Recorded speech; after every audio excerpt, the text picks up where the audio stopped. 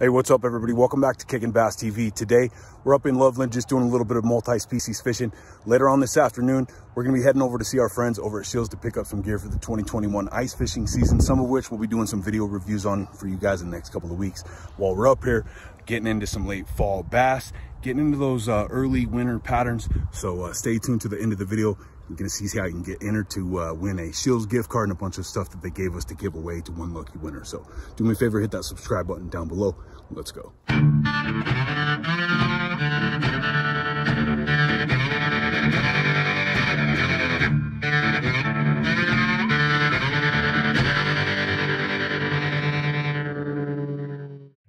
Right, guys, today we're starting off up north in Fort Collins at a small pond where we had some success a few weeks ago. Still throwing those bait fish profiles, spinner baits, blade baits, underspins, lipless cranks. Those have been the number one producers as of late because we've got a warmer than usual fall here in Colorado. And what that means is that those bass are still gonna be pretty active, aggressively feeding up for the winter and having still not had consistently low enough temps to have that thermocline begin to mix and push them into those early wintering patterns. The moving bite is where you'll find the most success, just like we did right here. Now, if you live in another part of the country, like the north or northeastern area, you're already well ahead of us. It's colder where you're at. You're maybe in a full swing of your winter patterns and you aren't having any success don't get discouraged because it generally gets a lot easier, especially when you're talking about smaller bodies of water. A pond like this, where they don't have a lot of areas like coves or fingers, structure, or cover for them to pull to, they generally tend to just seek out the deepest water in the pond, which usually tends to be in the center. So slow things down, switch up to those finesse baits, those craws,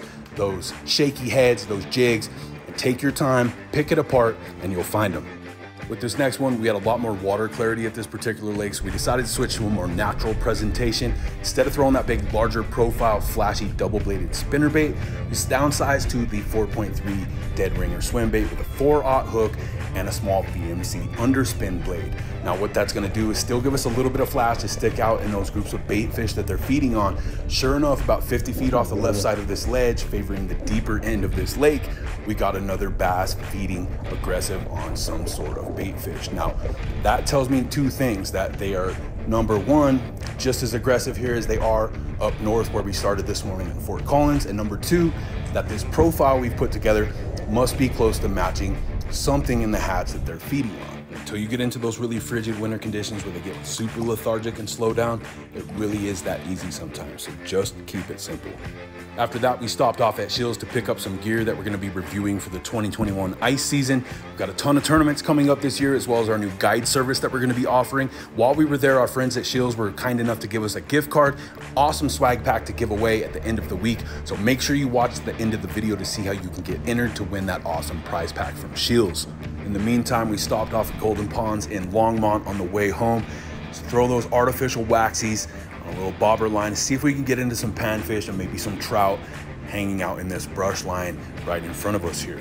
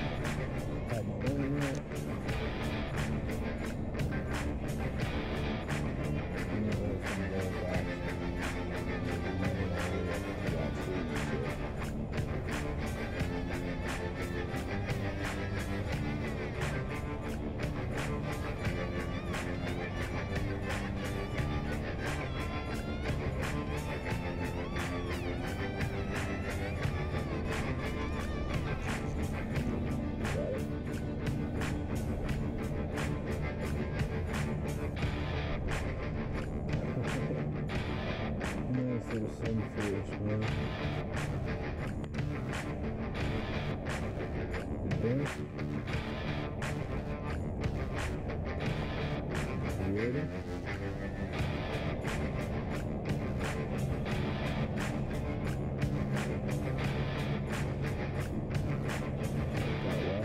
you can see, we ended up getting into a couple of trout, bluegill. We caught a nice sunfish here, had some awesome color on them. After getting a couple of pics of those guys, threw them all back and had a nice, fun multi-species day here at fall time in Colorado. It is starting to get colder, which means those winter patterns are right around the corner. We are gonna be touching on that in detail in our fall to winter transition video in about a week or so. But until then, just wanted to show you guys that because of the warmer trend we've had this year, this fall, they're still active. You can get out there. Don't get discouraged. You can catch them. You just have to be willing to experiment with some baits in different areas in the water column. On this last one here, we're throwing that same profile with that underspin blade that we had success on this morning up in Loveland. And sure enough, because we know that they feed on perch here in this rocky area, and the fact that they've drawn a particularly large amount of water out of this lake this year, that we have them pressed up against the structure in the left side by that measuring stick that you can see to the left of your screen.